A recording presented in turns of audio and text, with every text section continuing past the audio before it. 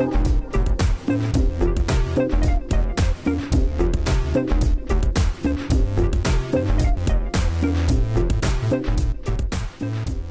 is the hottest look that you've seen this The season? hottest look, probably what I'm wearing, honey. What you're wearing, honey? Yeah, okay.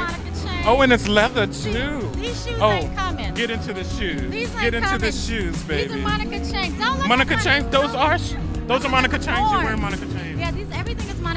I love, good. except for of course the little Chanel. Every girl needs a oh, little Oh, Everyone Chanel. needs a Chanel. Yes, yes, yes. So, what do you think about What do I think about? her clothing? Oh, I love it. I love that she's fashion forward. She's edgy, but she's, you know, she definitely knows how to dress the modern day fearless woman. You know, it's, I really love her lines. I love her sexiness. It's very chic, but yet, you know, she has pieces that can go from day to night. And I love the embellishments and the trim. She does a spectacular job every season. She does. It's all about the detail. Yes, yes. Now, what is your favorite piece of accessory? Um, it's usually my bag and shoes, honey. Bag and shoes, bag and shoes. And then there's a lash and a lip. And a- I do believe in the lip as well. Yes, it's very important. Well, thank you so much for talking to us, and happy Fashion Week.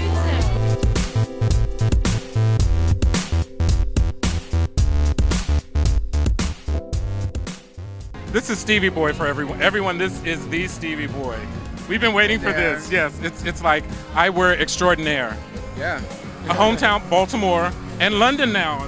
Yes, I'm based in London until July. I'm working on some things with Lady Gaga for ARTPOP and a couple other people, and I'm very excited. And you guys got me. Like I was trying to be inconspicuous, like you know, hiding and stuff. I don't know if it worked, but It doesn't work here.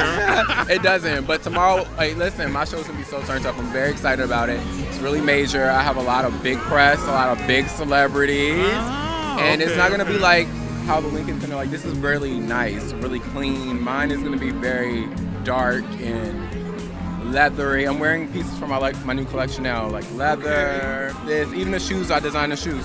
Wow. Yeah. So so it's gonna be dark, dismal, and seedy. Yeah. it's gonna be really interesting. I'm very excited about it.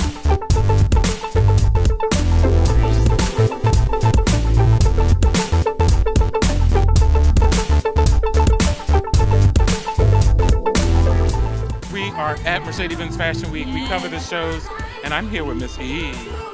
What's up? So tell us, what's your fashion sense? You always are the fashionable. Aw, thank you. You know what? I'm very much into look as amazing as possible, but don't force yourself into anything. Anything you put on should still feel comfortable. So, which is why I'm here. Like I shop at Monika's store way too, way too much, way too much. But um, but it's a great brand. It's a great line. You can find something for every kind of girl. Yes, yes. I love personally, and we love our viewers. We love her embellishments. Oh, yeah. She does wonderful hardware. Yes, she definitely does. You know what it is too? Her the cuts with the with the embellishments. I think it's sexy and edgy, which I also love. I feel like I can't be too pretty.